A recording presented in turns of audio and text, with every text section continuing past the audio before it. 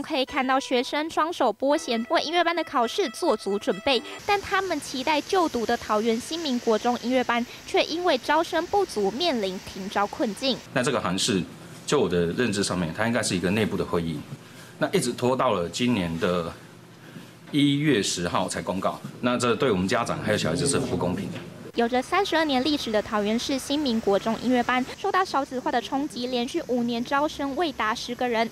桃园市府教育局今年一月无预警公告停招，令家长相当错愕。反映教育局预告的期间过于仓促，配套措施也不够周全，罔顾学生的受教权，痛批停招的程序根本就是黑箱作业。而教育局也回应，曾经聘请专家入校辅导，发现改善的成效有限，才宣布停招。呃，今天决定就是我们。新民国中的停招，呃，将是一一三学年度招生的状况再做决定。